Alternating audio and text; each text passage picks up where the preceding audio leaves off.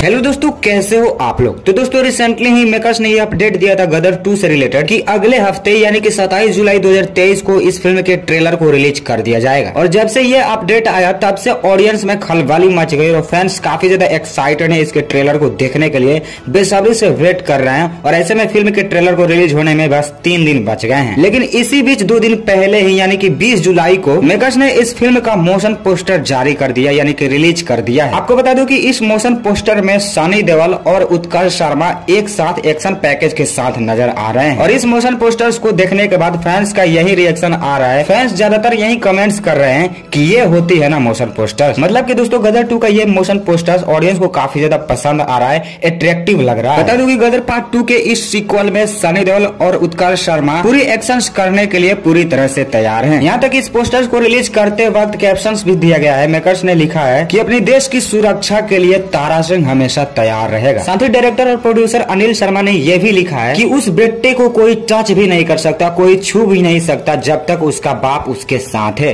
और इस बेटे के साथ तो वो बाप है जिसका नाम है तारा सिंह। तो दोस्तों मोशन पोस्टर को दो दिन पहले ही रिलीज़ कर दिया गया है। आई होप आपने भी इस मोशन पोस्टर को देख लिया होगा। अगर नहीं तो आप मेरे स्क्रीन पर देख ही रहे होंगे या फिर देख ही लिए होंगे। तो कमेंट में ज़रूर बताना आपको ये मोशन पोस्टर कैसा लगा। बाकी और तीन दिन वेट करो बस। सताईस जुलाई दो हज़ार तेईस को इसका ट्रेलर आने वाला है। पूरे वर्ल्ड में गदर मचाने। इसके साथ वीडियो को यहीं पे एंड करते हैं। बहुत जल्द आपसे मिलता हूँ नए वीडियो में नए टॉपिक के साथ। तब तक के लिए थैंक यू जय हिंद।